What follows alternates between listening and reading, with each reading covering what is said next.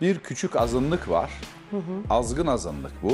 Tercihini Cumhur İttifakı'ndan yana kullanan Sinan Oğan, CNN Türk'te Fulya Öztürk'ün programına konuk oldu. Belli ki siyasi hayatınız, siyasete zaten devam edeceksiniz. Tabii ki bu ülkeyi yönetmeye talibiz biz. Fulya Öztürk'ün 28 Mayıs'tan sonra ne yapacaksınız sorusuna ise Millet İttifakı Cumhurbaşkanı adayı Kemal Kılıçdaroğlu'nu oldukça kızdıracak bir açıklamada bulundu. İşte Sinan Oğan'ın tartışma yaratacak o sözleri. Bu ülkeyi yönetmeye talibiz biz. Ne yapacaksınız? Yani 28 Bu Mayıs'tan ülkeyi sonra yönetmeye açık talip sorayım. olmayan bir siyasetçi var mı bilmiyorum. Varsa Sayın Kılıçdaroğlu'dur muhtemelen. Başka onun dışında herkes bu ülkeyi yönetmeye taliptir. Türkiye'deki linç kültüründen dert yanan Sinan Oğan kendisine ve ailesine karşı hakaret edenlere ise dava açacağını dile getirdi. Bu linç kültürünün Türkiye'de Türk demokrasisine e, e, büyük bir tehdit olduğunu düşünüyorum ben.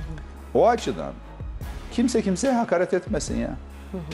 E, Ben alışkınım ama hani aileme varacak kadar bu hakaret ve küfrün hesabını soracağım yani söyleyeyim. Siz kim oluyorsunuz Ki yani?